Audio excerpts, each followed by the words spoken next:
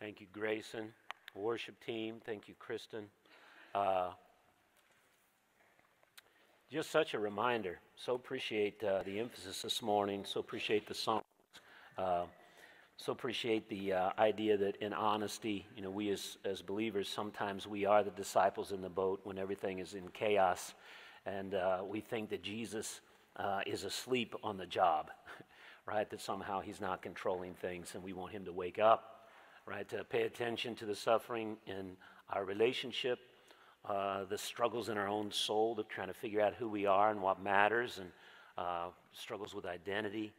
Uh, just to feel like we're uh, not under the pall of a, of a world where it seems like so many people have lost their minds and things are happening.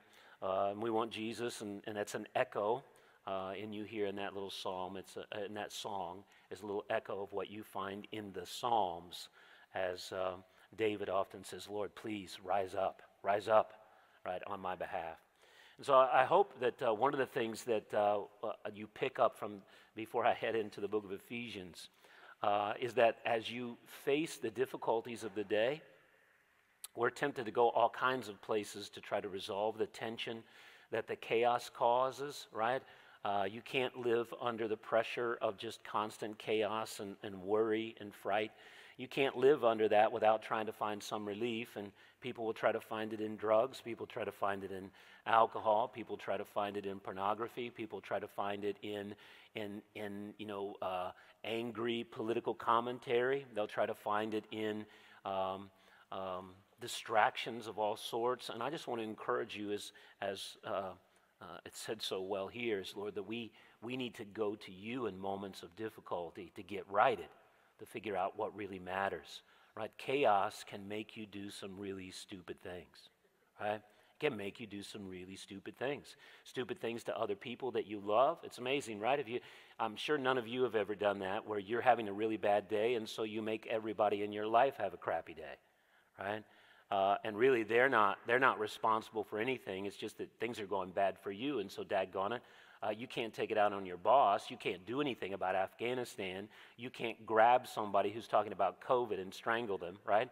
Uh, you can't do any of those things, but daggone it, you can chew up your, your husband's ear, right? Or give the person at the restaurant uh, you, know, you know, an earful, right? Or do those kinds of things. Or get on Facebook and spout off and do something, right?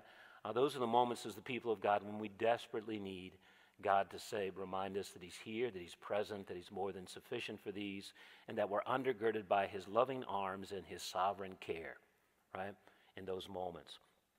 Now, I want to encourage you to turn to the book of Ephesians. Uh, I'm going to begin with an apology. My voice, I'm into the season of cheering for games right now. Uh, some of you have been around here before.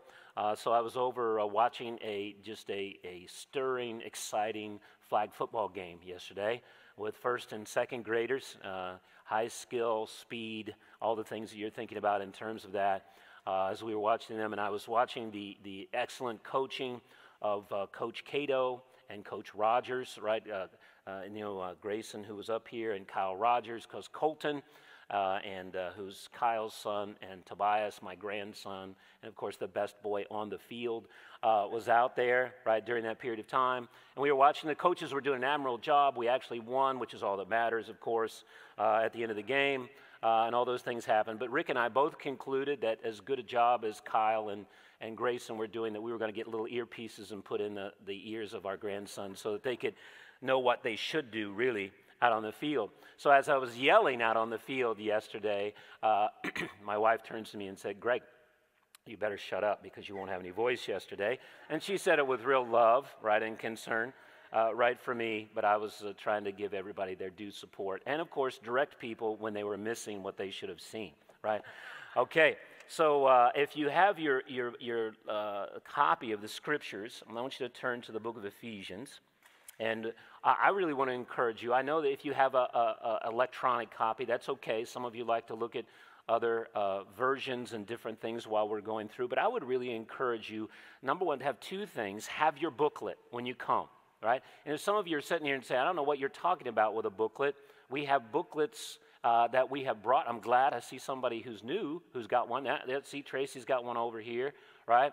So these are the badges. I hope that you'll pick one of those up when you come. If you don't have one, uh, I'm going to kind of review what we do in those booklets today, but really, I, I want you to get one. Uh, we're doing two things through this series, and it's something that we haven't done as straightforwardly before we, we obviously want to teach through the book of Ephesians. We want God's word uh, to be taught. That's the, uh, we exist to honor God, to understand Him, to give Him His due. And that's one of the things we're going to focus on today.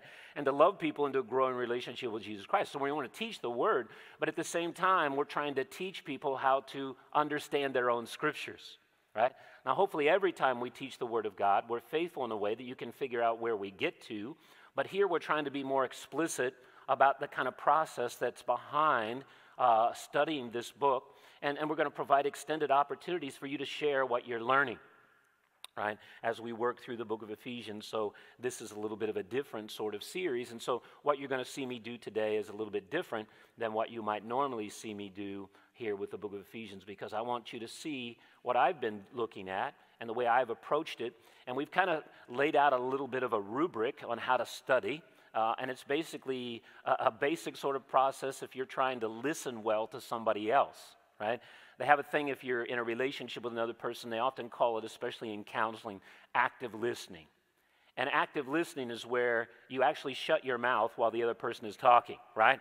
Uh, and you constrain your mind from wandering everywhere else, right? What we often do, especially if we're in an argument with somebody else, we're, if we're polite enough, we're not too heated, we, we at least shut our mouth long enough for them to say what they're saying. But while they're speaking, I'm already formulating my response to what they're going to say, and I really don't hear them at all. And so I'm just waiting. I'm being polite enough for waiting for them to stop, and they would say, Are you done? And then I let them have it, right? Uh, and they're saying, I don't think you heard anything I just said. Well, I don't care about what you just said. I want to tell you what I said, right? But here with Scripture, in the same way, we need to pause. So we, we first come to the passage and we sit there and observe it. We want to see what is it actually talking about? What is its subject? And I say this for some of us who've been around the, the, the, the, the Christian world for a while. Some of the passages that we go back to are very familiar to us. And one of the dangers about the familiarity is that we don't read it again, we just read over it again.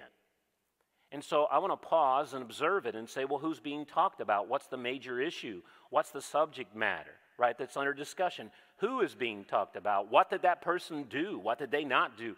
Am I being told about something or am I being commanded to do something? I'm, I'm looking at all those little things I want to observe. And then, as a good listener, I want to pause and summarize what I just read, right? So, Colin and Savannah are moving toward marriage, right? They're, they're engaged, so I just picked them out. Savannah all of a sudden realized I'm talking about her.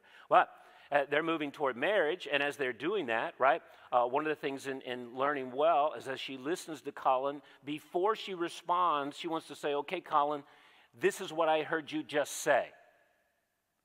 And then Colin goes, No, you completely missed it, right?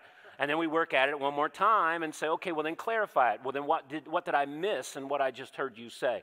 And then we clarify it back and forth. And then finally, when, Savannah, when, when Colin says, that's what I'm saying, that's what I'm saying. So, okay, now Savannah's ready to respond to it. Now she's ready. Okay? So, in the same way with Scripture, after we've listened to it carefully, we summarize it and we say, this is what Paul's talking about. And once we've done that, now we're ready to start thinking because what Scripture is about. Well, then what does that mean for me? How does that change the way I think about myself, about God, about the world? Does it adjust some of my behavior? Does it affect the way I'm worrying today? Does it affect the way I'm spending my money? Right? And then, as far as Christians are concerned, always God's working in you so he can work through you. Right? So you're never just a little, you know, cul de sac, right, of the grace of God. Right? That it just comes and resides on you and then it stops right there and there's no through street. No, no, you're not a cul de sac.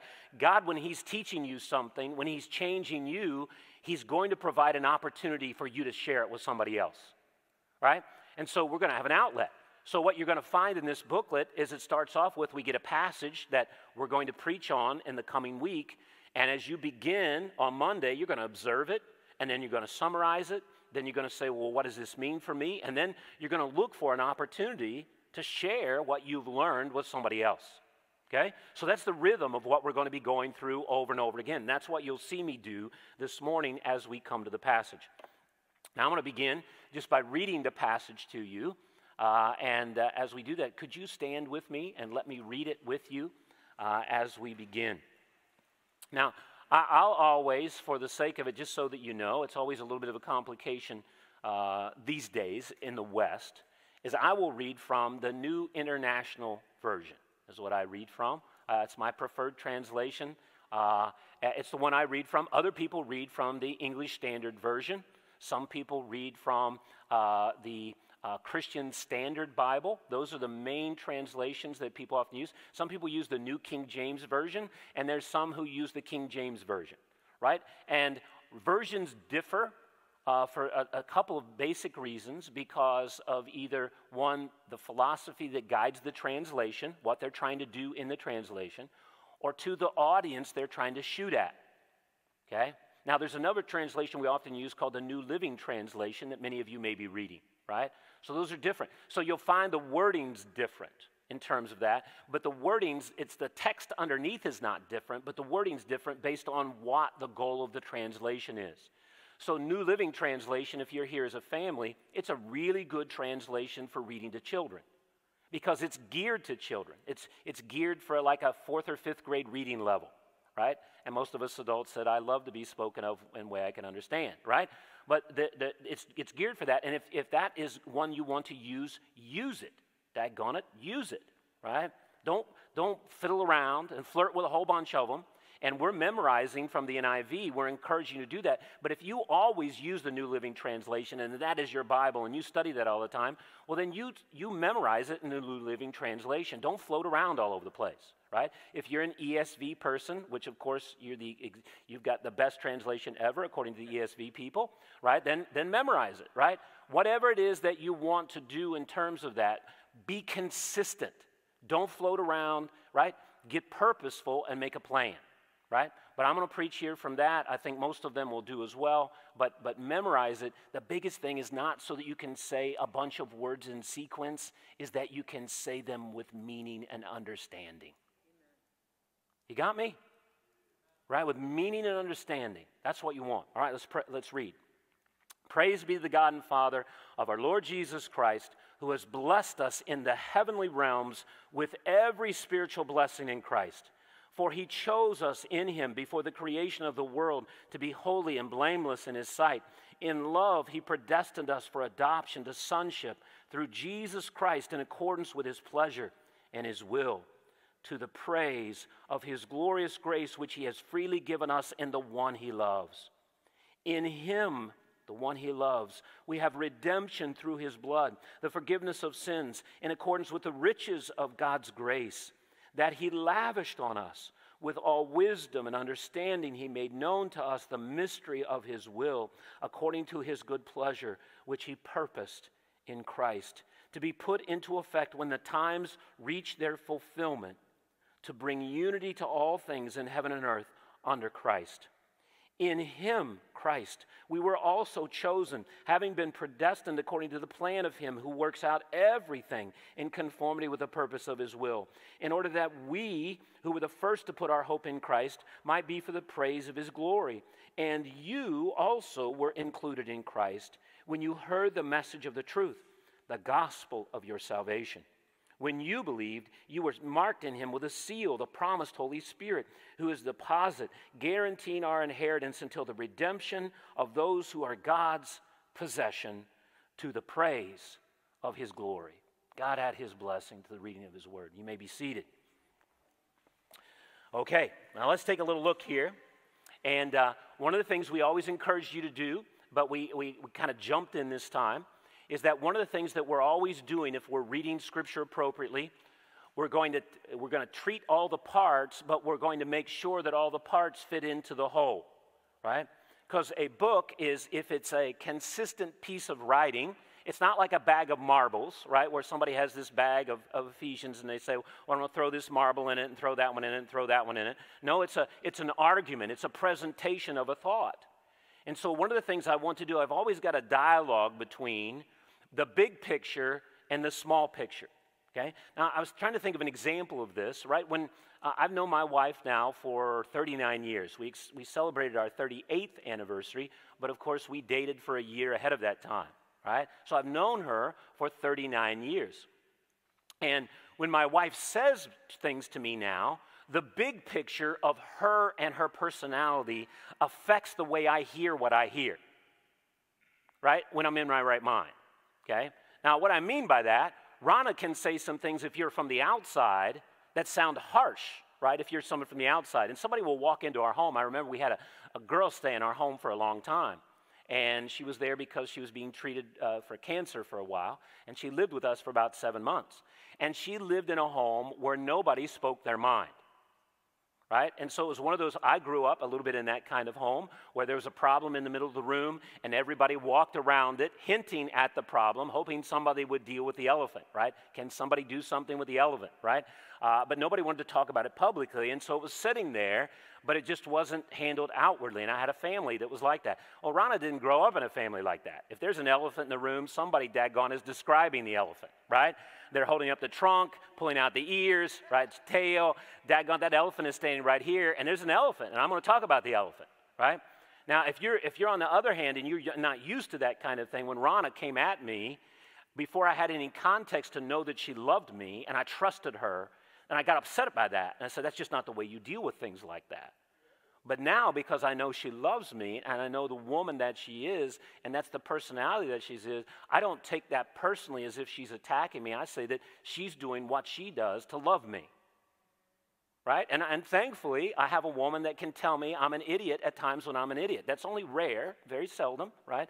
No, but sometimes she can step in and in the right way, and I know she does it because she loves me, that she wants to say, the Greg, we got to talk about this.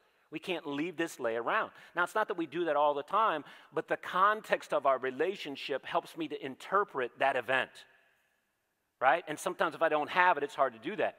And here, the context of this book is important to read this passage in. So, the first thing when you read a book, you read it all the way through. You read it repeatedly because the whole book, you want to read it. Okay? Now, there's other things we can talk about here. But as I read it, one of the things I want to see is that Paul's going to reveal the theme, the major thought in the passage we're in.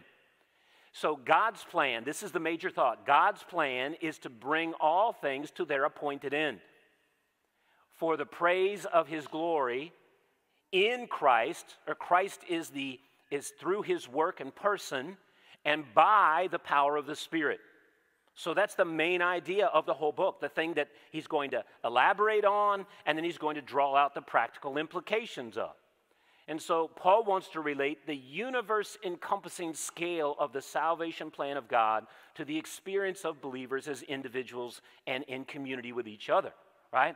He wants the truth about who God is and what He's up to to shape their lives, right? And so if we look at the overarching structure, then this is kind of how it breaks down. And this is where it gets the title, right? So for the first three chapters, he wants them to enjoy God's triumph. And there's language all the way through this book about God in Christ doing battle against forces that are arrayed against us and matter of fact, doing battle on our behalf so that we can be awakened from our, our, our dead slumber. And this God triumphs in Christ and sits us up above all of these hostile forces that are against us so that we don't need to worry about them. And then Christ, in his triumph in chapter 4, he gives gifts to people, us, the church. So he gives us gifts in order to live out this new life that we've had. And then he primes us for the battle. So when we get to chapter 6, we're going out to battle every day with, with, with dark forces in us and around us. And now we've got, we can be clothed with Jesus so that we need not fear, we need not cower, we can be on mission, but also we're not naive and we're not jumping out there as if we can make it on our own. Right? So this triumph. And then so the first part is what, what has God done and is he doing and will do in Christ to restore and reclaim everything? And then verse chapters four to six is the practical implications of that right? If that's who God is, well, then how should I address COVID? How should I be dealing with the threats to my physical health? How should I be thinking about my physical life? Is it really true for Christians that safety is their first concern? And the answer biblically is no. The major concern is faithfulness. But why does that make sense? What if my faithfulness actually causes me to be sick and die? Yeah, right? To live in Christ is die again because I'm secure in God, right? I don't fear what other people fear. I shouldn't, right? What if, what if following Jesus makes everybody hate me? Okay? Well, again, that's not my goal. I hope that's not your goal, right? It's not our goal to be people that aren't liked. But the question is, right, the end goal is to be faithful to God, and the best neighbor I can be is a neighbor full of Jesus. And if they don't like that, I'm grieved over that. I'm lamenting over that. I'm praying over that. I'm praying for them with a broken heart, not with a haughty spirit. I'm broken over that and I'm praying for them. But I'm not going to change my behavior because they don't like it, because it's not their approval that matters. The best way I can love my neighbor is at the end of the day have God say to me, Good job, Greg. But, but, but, but, but God, so and so doesn't like me. Well, Greg, you obeyed me, you loved me, you followed me, you turned them toward me, you leave them to me. Okay?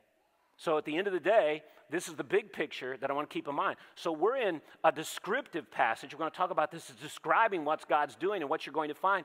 There are no commands in chapters 1 through 3 doesn't tell us to do anything. We're just learning. But then when you get to chapters four through six, all of a sudden, do this, don't do that, do this, don't do that, right? And so that's where we're going to come. Now, so now that first section in one through three, and this is in your this is in your little uh, handbooks.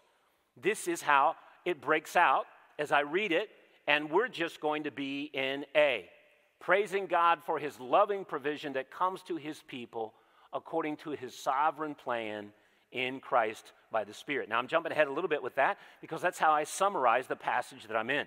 Okay, and I want to talk a little bit about how I got there to do that. So, theme, the big picture, and now we're coming down. Now, let's do some observing, right? Now, here, I want to say, as you read this week, and some of you are, as I'm asking this question, you're going, oh, I really didn't read too much this week. That's all right. Feel guilty. You should feel guilty, right? No, but the issue is, I'm not trying to make you feel guilty. I want to encourage you, right? I, this is, this is uh, I, I want to be, I, I have tasted by God's grace the goodness of Jesus.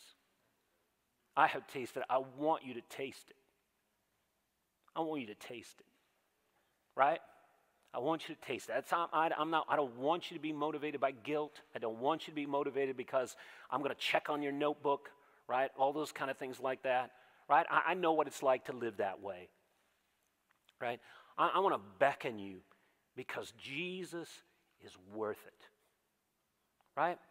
And the thing that we know, and we've heard this as a cliche so many times the people that you love, you attend to them.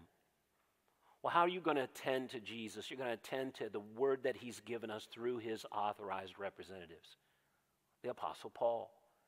And so, as a church together, we want to, and this is kind of cool about the book of Ephesians when we get to chapter 3, not only are we coming into a deeper understanding by God's grace of what it means to be loved by Jesus, but that deeper understanding that we get individually equips us to come together and more fully explore it as a group of people, to see it in its multifaceted beauty, right? Something that changed me in college way back when, and it was, it was in the psalm that we sang today. Uh, I never thought about this. This wasn't part of my Christian vocabulary, and I didn't think about it in those categories. But I remember uh, Steve Green was the was the Keith Green, not Steve Green. Keith Green was the big uh, guy who was coming on the scene in college circles. I mean, this was before we had the uh, abundance of different songs and things we have now. But Keith Green was like this uh, hippie guy from California. And we know, if you know Will, nothing good comes out of California. We know that, right? And so we're, we're talking about California. And, and so Keith Green comes out. I was disposed in the tradition I grew up to that he was edgy. He was like a hippie guy. He was in a whole bunch of different things going on, Jesus movement stuff. So I was already had my guard up, I had my, my you know defenses up. And I had this kid that was in my dorm when I was a resident assistant, and he kept saying to me, you know, Greg, Greg, you should listen to him. Nah, I don't want to listen to that, you know, kind of stuff like that. Well, I'd never even listened to it before. So I picked it up and I started listening to it right surreptitiously, right, privately, so that nobody knew that I was listening to it, right? And this is back in that, you know, the, the technology of that time was a cassette tape, right? So I, would get find somewhere, put a cassette tape in, right, and put on my little Sony Walkman and put it around my head, Okay, nobody knew what I was listening to. They, they probably thought I was uh, listening to George Beverly Shea, right, from the Billy Graham Crusade, right? But whatever, I'm listening to that, and as I'm listening to that, one thing that gets me, it starts to grab my heart. And he's saying scripture. He's saying scripture. I didn't have a pro- I couldn't I couldn't figure out any way to criticize scripture. now he's saying it in different ways. But you know, one of the things that got me is that there was this reality of his relationship with Christ that I yearned for. And one of the songs I still, Oh Lord, came from Psalm 127 and so many other passages. Oh Lord, you're beautiful. Your faith is all, face is all I see. Right? Please turn your eyes on your child. And I said, I, I want that. I want that kind of reality to my walk with Jesus. And it spurred me on. And I found his music to be so convicting, so challenging, so passionate, right? And it wasn't perfect. He wasn't a perfect man. No, no, none of are. But I just want to beckon you into the riches. And this is a passage about riches. Right? It's a passage about riches. So I wanted to get you to come after. All right, so here's the big picture. Now, if you read did you observe and what did you see? And here's some things that I just want to look at, some of my observations when I'm trying to say, what is the passage really about? And here it's really a who passage. Who is the passage really about? It's not a, a what passage, it's not telling you about things. And if you thought it was about things, let me just humbly say, you missed it. Okay? And, and a part of Bible study is not everything you come up with is going to be right. Okay? Let me, let me just say that. Okay, the Holy Spirit is not confusing, right? And this is where the community comes in, where we, we read the scriptures at times, and it's okay to share things that you come up with, but also it's okay to say, well, that's an interesting thought, but help me understand how you got there from the passage. Because that's where we want to get there, right? We're not criticizing people or lording over each, but one of the things we don't want to do, because we know the evil one, one of the things that he loves to do is distort scripture. Right? Seriously right? The characteristic of a charlatan is somebody who knows enough Bible and has a silver tongue, and they can convince Christians that they're speaking with God's authority. In reality, they're using God's name to undermine his authority, right? So our experience is always checked against the Bible. And so if you come up with something that is outside the text, right, or something that you come up with an insight, well, we want to come back and say, help us get there from here right? Now, here's one of the things, here's some observations, and I want to give you one, right? Now, here's something that I do sometimes with highlight markers, but I want you to say gold is for God the Father, red is for Jesus, and you can't quite see it, but green, which doesn't come out real well, is for the Spirit. Okay? Now, one of the things you find about this, there's a lot of references to God, right? And to God the Father, look at all those yellow. God the Father of, who blessed us, He chose His sight, He predestined, um, His pleasure and will, praise of His glorious grace. He has freely given, He loves God's grace, He, His will according, His good pleasure, He purposed in Christ, right? The plan of Him, the purpose of His will, praise to His glory, right? God's possession, praise of His glory, right? Now, if you thought this was about you, you missed the point. It's not about you. And then, secondly, look at all the references to Jesus, right? And Lord Jesus Christ, in Christ, in Him, through Jesus Christ, right? In the one, in Him, His blood, right? In Christ, under Christ, in Him, right? In Christ, in Christ, in Him, right? Did you get that? A lot of in things going on right here.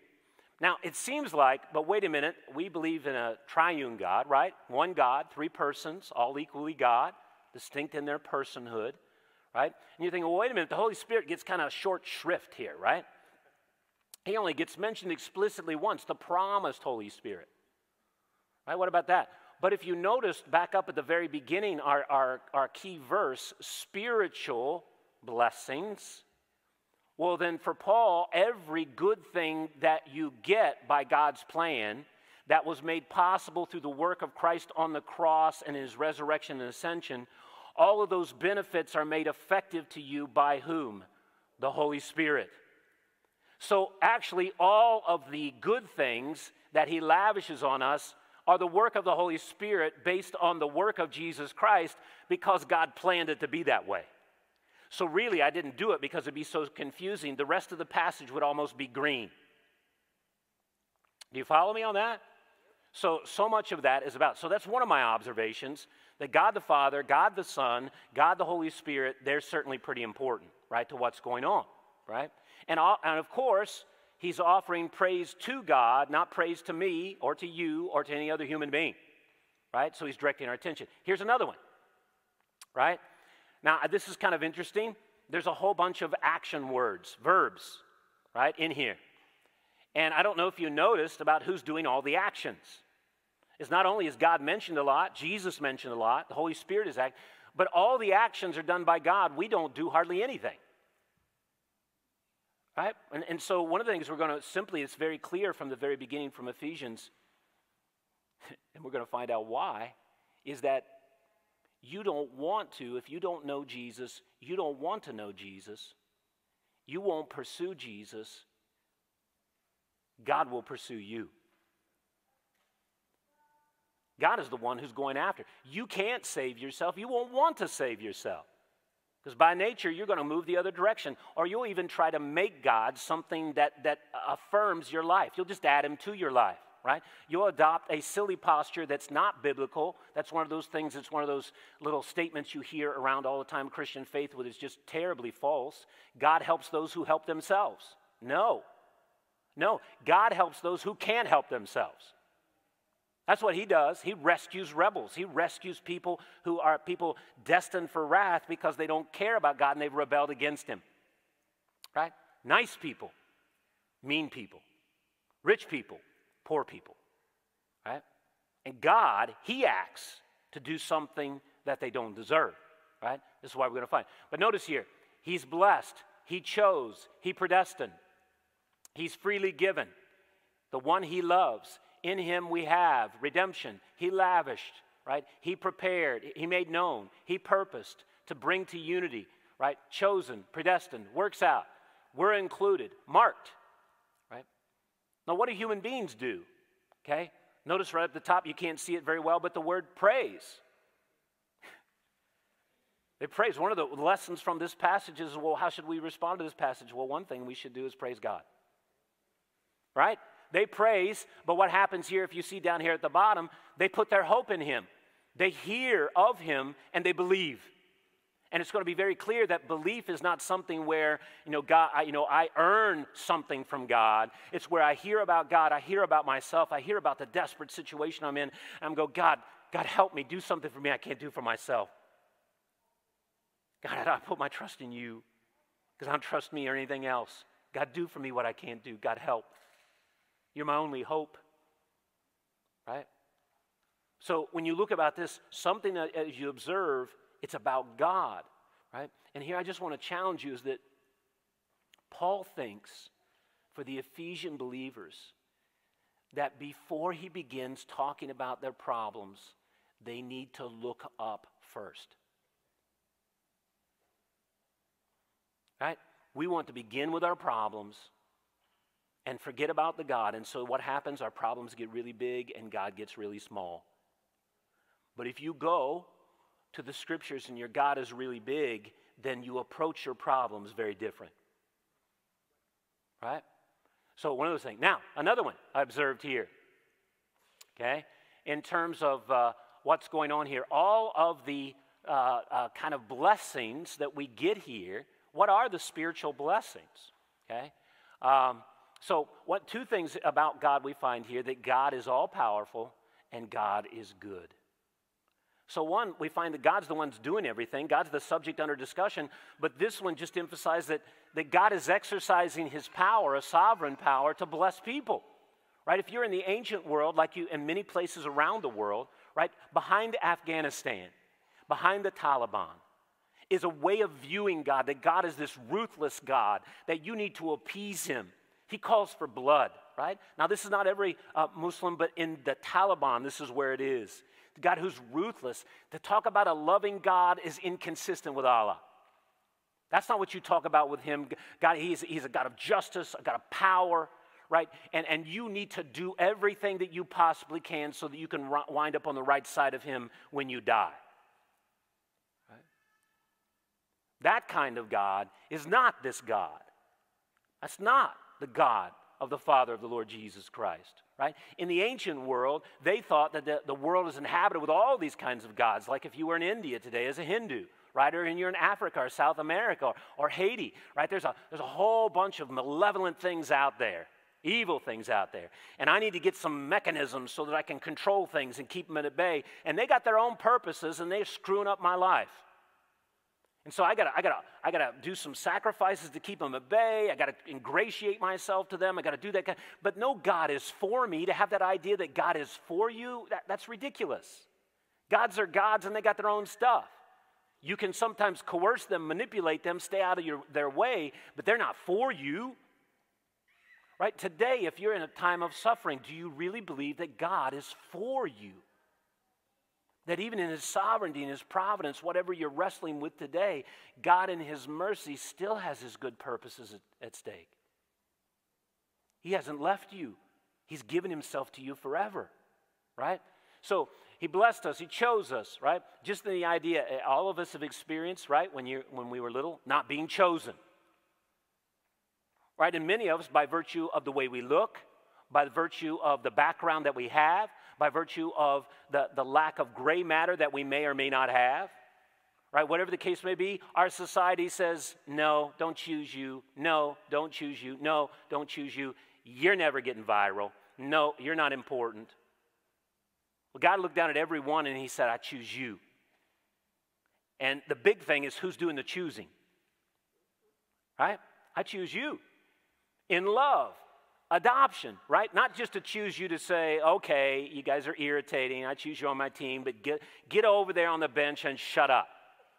Right? You guys are so stinking annoying. I'm to pick you up out of the miry clay, but just sit over there because you stink. Right? No, no, no. So, no, you come into my house. You're my kids. You're my kids. You come in. I love you.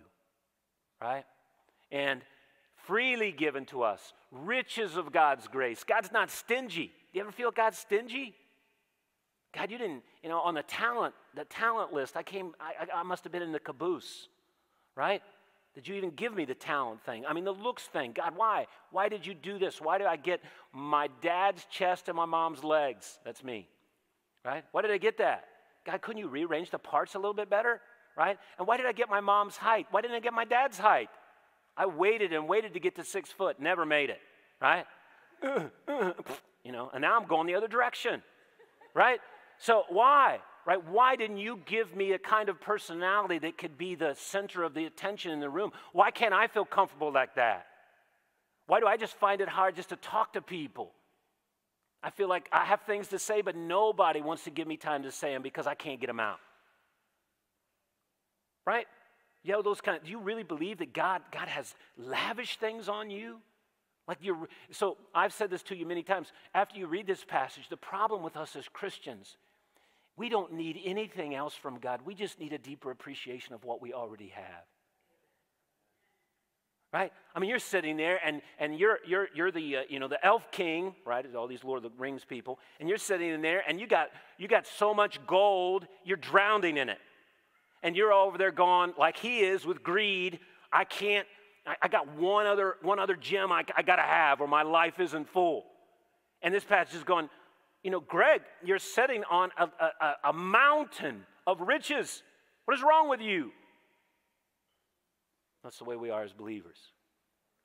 Right? So these are just some of my observations. Now here's another one, right? So then I went to look about, well, does Paul have direction? Does he, is he moving down through the passage? And here's some things that I found. Notice it begins with praise, the head, and then he explains the praise in verse 4 with four. So it's a change.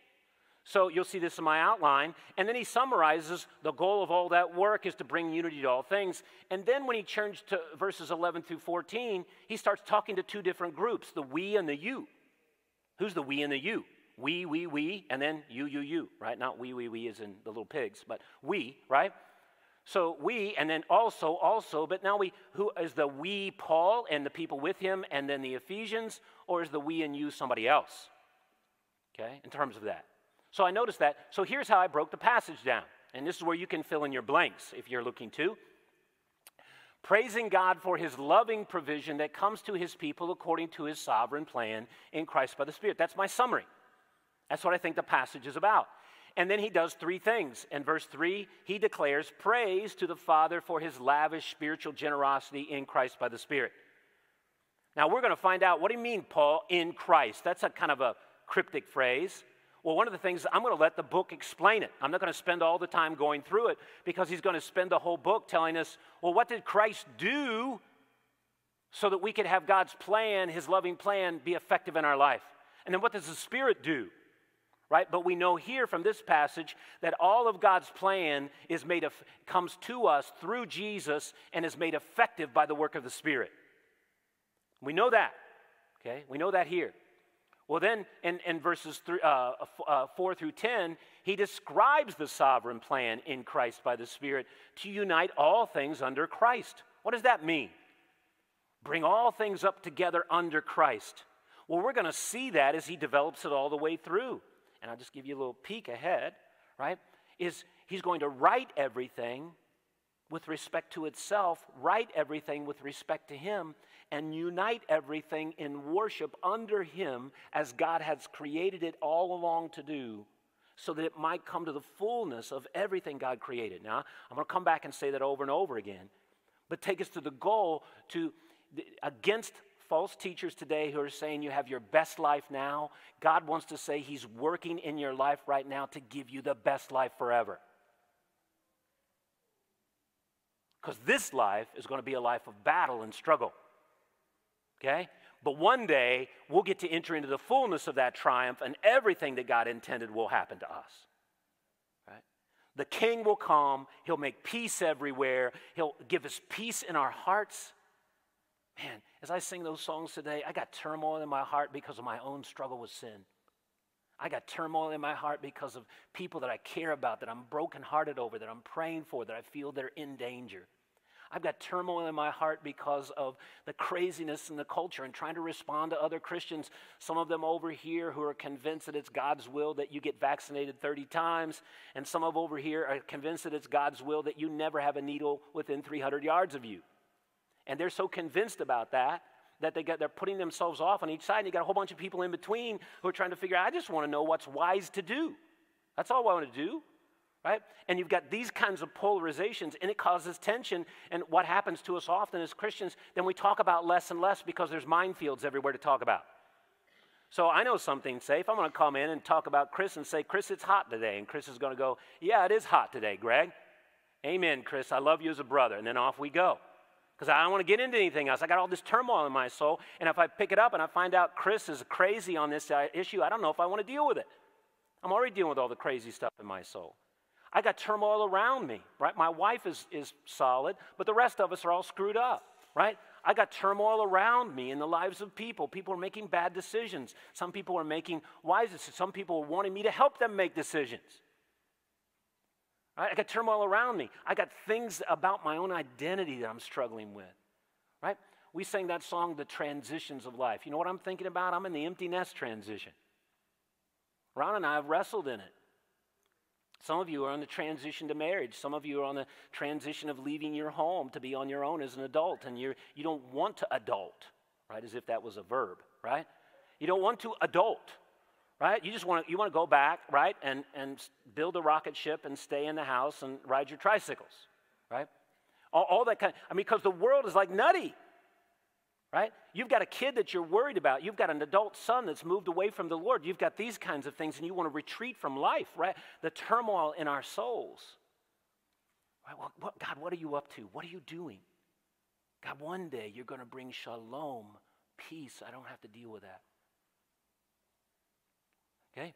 All, the, all those things, right? His sovereign plan. And then this is where, and we'll develop this on the way out, when Paul says we, he's referring to Jews. When he says you, he's referring to Gentiles.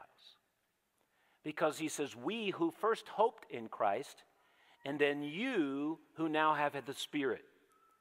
So, one of the things we're going to find out is that this is a plan that involves bringing Jews and Gentiles, meaning when God unites all things, He not only rights us on the vertical plane, He rights us on the horizontal plane. And we're going to find all about it in chapter 2. Christ brings peace between us and God, and he brings peace between us and each other. Because he's going to right everything. Right? He's going to right everything. Now, so here's how I just made this for myself. Now, I'm not, you, you can take a picture of it. I don't mean for you to take notes on it. But what I put here, I've got God the Father's plan. It's accomplished in Christ the beloved Son, and the Holy Spirit makes it happen. Well, what's all the things happen? I'm chosen for a relationship that's going to restore and reclaim me as a human being. It's a relationship of love. Christ didn't, didn't bring me to himself just to get me out of the way or make me a minion, right? Bunch of little yellow minions running around in the church. Uh, no, he wanted to bring me to life. So he chose me that. And his good pleasure, his loving favor. What motivated God to do it? Well, there's no power outside of him. He wasn't forced to. You know, Greg, you know, like somebody, you know, uh, remember when you were growing up in your home, right? And your, your, your parents were trying to encourage you to act Christ like even though you didn't want to? And so you walk into a group of other kids that are sitting in there, and there's little uh, lonely Jason sitting over on the side, right? Little lonely Jason sitting over the side.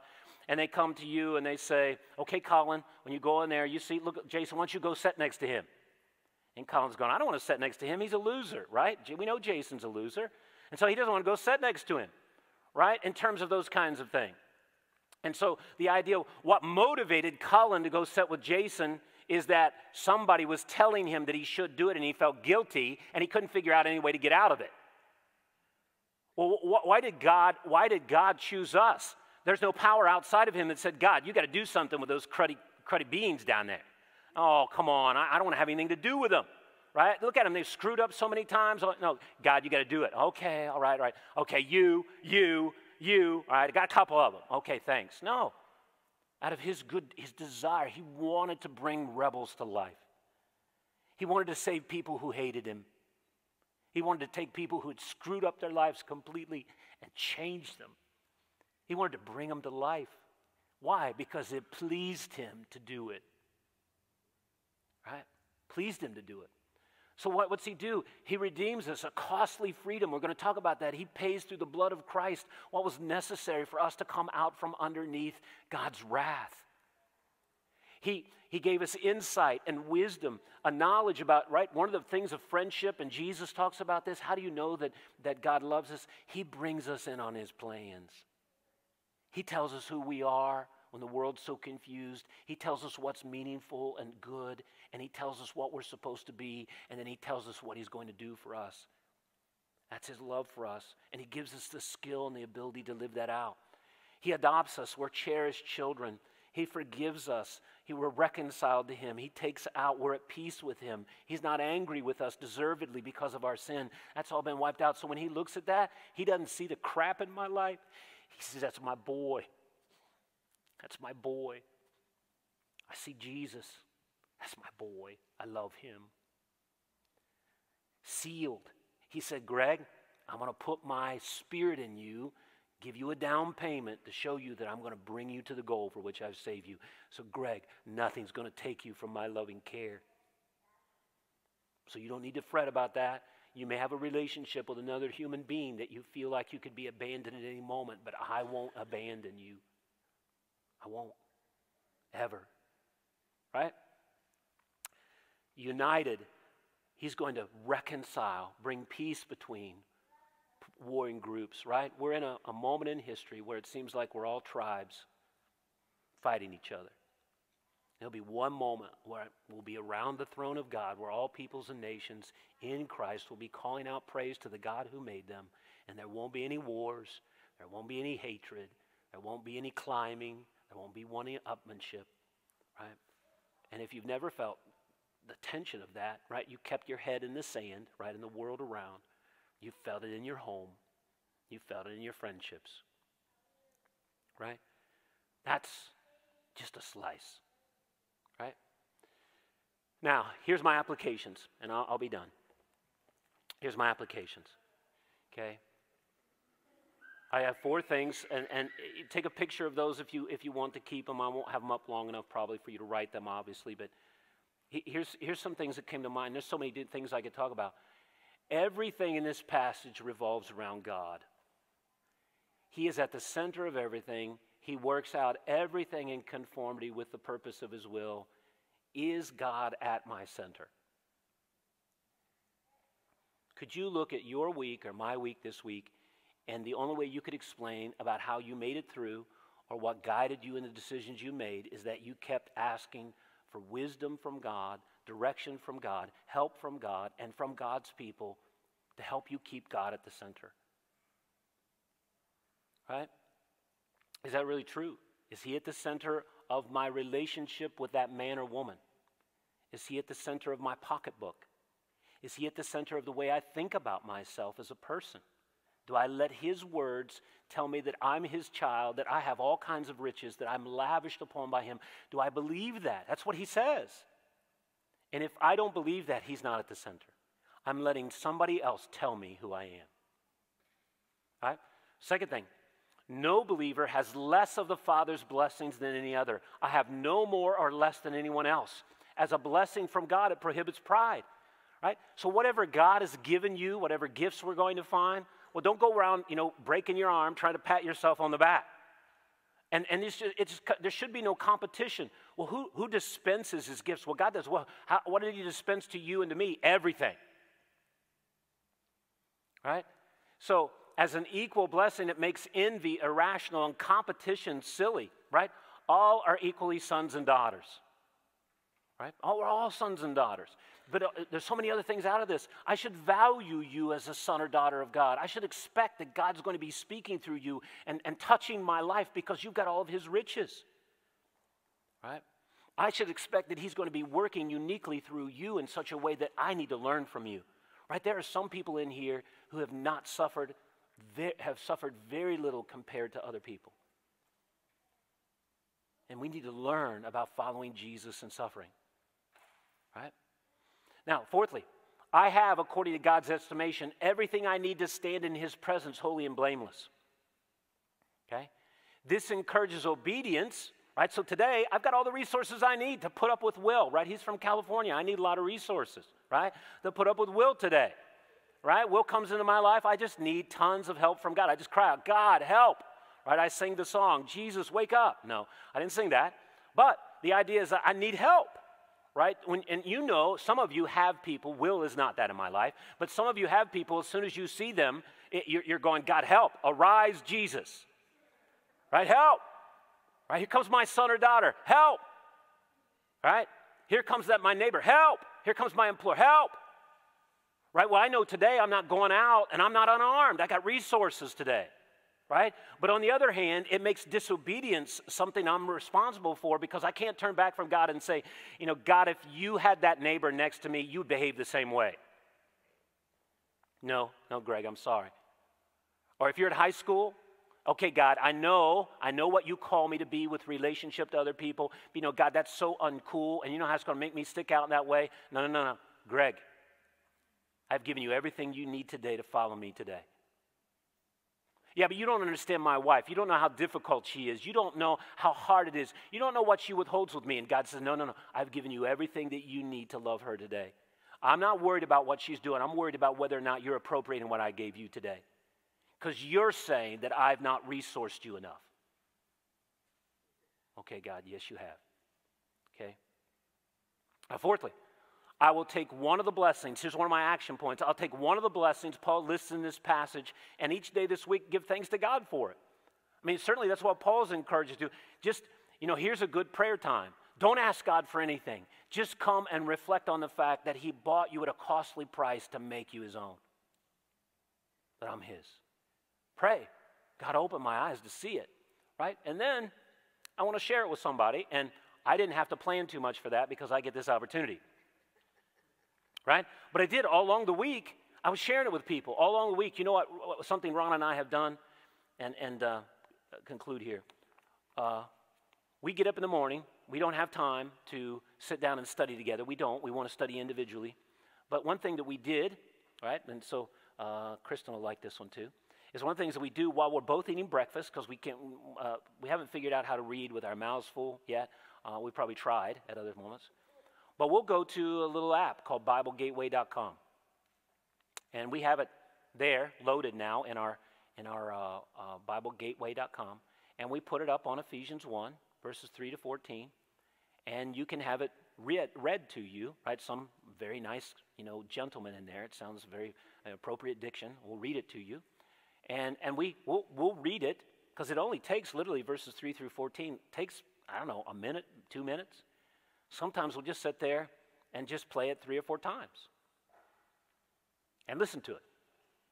Now, on our own, we'll study it, but there we want to listen to it. Right? Now, Grace, I want you to come up here in a moment. And I know I've taken us, we'll sing, sing one song on our, on our way out here. But I, I, did, I did something a little bit different today than what we normally did to give you an idea. And I hope that this afternoon, I hope you'll come back. Right? And we're going to have it, we're going to have it online this afternoon too. Right? So that if you can't come, if you know people, tune in, right, to listen. And what we're going to come together this afternoon is we've got, we've got a panel where we're just going to talk a little bit about our own interaction with it, right? Some of our own struggles to apply and understand it. We're also going to dig in and let you share with each other what, what was God teaching you? Or, you know, as I look at this, I got this huge question. I couldn't get past it. You know, what, what, is it, what do you think about it? And we're just going to continue to engage it. And our goal is that as we come up more and more, that when, when the pastor comes up here to speak, most of that's going to say, Yeah, I saw that. Yeah, I saw that too. Yeah, I saw that. And, man, I saw this too, and I want to add that to it. And, you know, we talked about this in our family. I talked about this with my wife.